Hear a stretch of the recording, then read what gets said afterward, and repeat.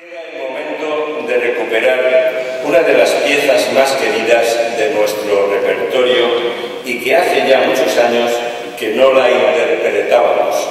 Se trata del canto a la libertad de la zarzuela Bohemios.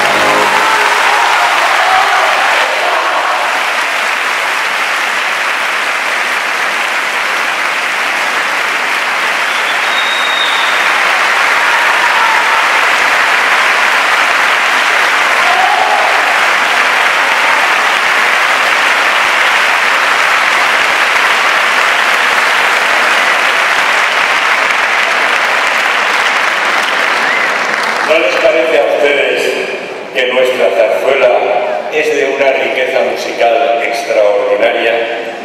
Nuestra coral ha venido interpretando una gran cantidad de coros de zarzuela a la que amamos desde que nos contagió con su entusiasmo el tenor que acaba de intervenir y que es el único representante de la primitiva coral tabaquera.